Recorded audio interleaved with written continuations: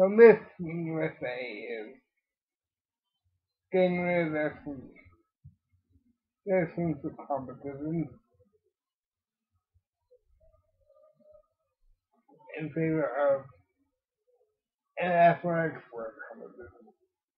Now, as a 23 year old man who doesn't, who doesn't watch the event that much, the only thing that really bothers me about this is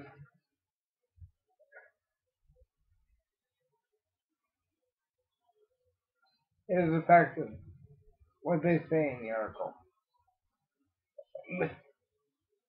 They said something like Miss Teen USA wants to be more empowering, women less. A lot of people are taking the thing that swimsuit competition is sexualizing young girls. But, but my question is, what, you know, why exactly is the bikini not empowering? Why is it, why is it automatically, automatically in many, in many people's minds too sexy? Yeah, shows those skin. So what? If some pretty guy is sitting at home getting his, you know, you know, well, from from watching a bunch of teenage, teenage girls in bikinis, that's his problem. That's not the bikinis problem. And I'm sorry, some girls do feel more empowered in bikinis. They do. And we live in such a stereotypical culture. It just pisses me off. You can say, well, it's inappropriate for teenagers to be putting on bikinis. Why? It's not like it's not they're naked. They're covered. Why is it inappropriate? Why is it sexist? Why is it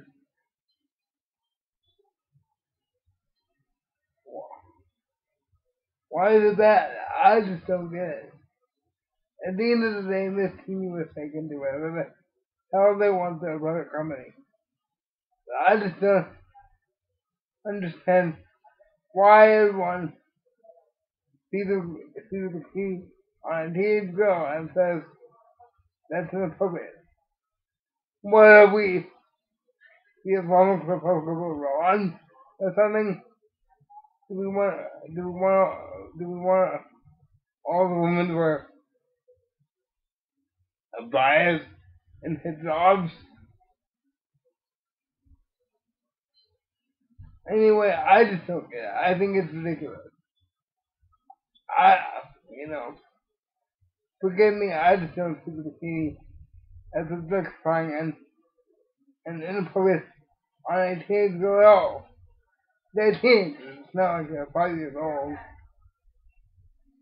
But anyway, tell me what you think. I just think it's ridiculous. Not not that they're agreeing with it, this is this a controversy because they're teenagers, they're not children.